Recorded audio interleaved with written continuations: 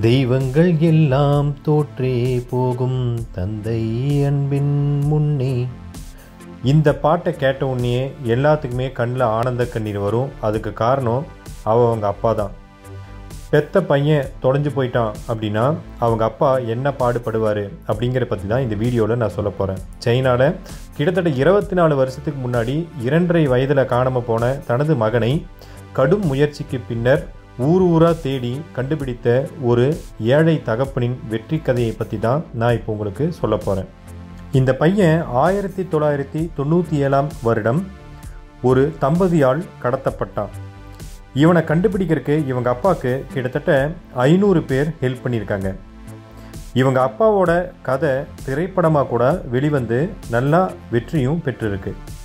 இருபத்தி நான்கு வருடங்களாக வெறும் மோட்டர் பைக்கை வச்சு அவர் ஊர் ஊராக போய் சைனா முழுவதும் தேடி இவங்க பையனை கண்டுபிடிக்கிறதுக்கு முயற்சி எடுத்துகிட்டு இருந்திருக்காரு.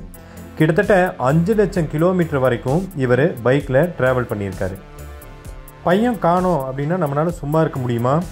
எனக்கு மனதோட ஓரத்தில் ஒரு நம்பிக்கை இருந்தது. எப்படியாவது என் பையனை கிட்னாப் பண்ணவங்கிட்டேருந்து அவனை கண்டிப்பாக என்னால் கண்டுபிடிக்க முடியும்னு. அதனால் வீட்டில் இருக்காமல் நான் நாடு முழுவதும் சுற்றி என் பையனை தேடி கடைசியில் கண்டும் பிடிச்சிட்டேன் அப்படின்னு சொல்கிறாரு அவங்க அப்பா.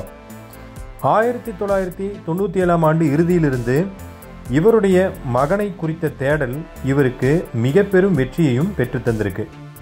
இரண்டாயிரத்தி பதினைந்தாம் ஆண்டு லாஸ்ட் அண்ட் லவ் அப்படிங்கிற பேரில் இவரது கதை ஒரு திரைப்படமாகவும் வந்து மிக பெரும் வெற்றியையும் பெற்றது.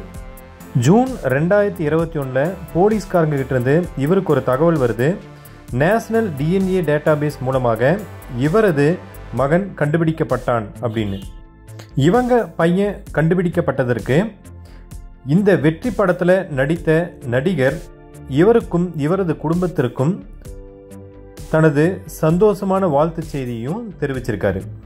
அந்த நடிகர் என்ன சொல்லியிருக்காரு அப்படின்னா சகோதரர் குவா அவர்களின் மகன் கிடைத்ததற்கு எனக்கு மிகப்பெரிய சந்தோஷமாக இருக்குது இதே மாதிரி சீனாவில் கடத்தப்பட்ட அனைத்து குழந்தைகளும் தத்தமது பெற்றோர்களுடன் சென்று சேர வேண்டும் அப்படிங்கிறதான் என்னோட ஆசை. இதற்கு ஒத்துழைக்கக்கூடிய சீன போலீஸ்காரர்களுக்கும் அனைத்து அதிகாரிகளுக்கும் நான் என்னோட நன்றியை தெரிவிச்சுக்கிறேன். இனிமேல் யாருமே குழந்தைகள் கடத்தப்படக்கூடாது.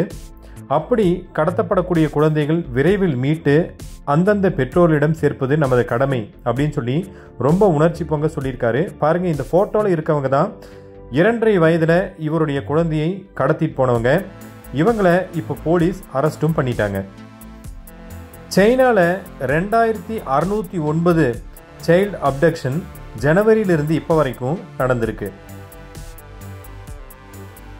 இதில் இன்னொரு உணர்ச்சி பெருக்கான செய்தி என்னன்னு பார்த்தீங்கன்னா தனது மகனை தேடும் தேடுதலில் ஈடுபட் ஈடுபட்டிருந்த இவர் கிட்டத்தட்ட நூறு குழந்தைங்களை அவங்களோட பேரண்ட்ஸ் கிட்ட சேர்த்து வச்சிருக்காரு. இவர் திரும்ப வந்ததை இவங்க குடும்பமே எப்படி கொண்டாடுறாங்க பாருங்க. அந்த ப்ளூ கலர் சட்டை போட்டுட்டு அழுகிறவர் தான் அவரோட அப்பா. இவர் தான் அந்த ரியல் ஹீரோ இந்த நிகழ்ச்சியை பற்றி உங்கள் கருத்துக்களை நான் எதிர்பார்த்து காத்துட்ருப்பேன் மறக்காமல் நம்ம யூடியூப் சேனலை சப்ஸ்கிரைப் பண்ணுங்க.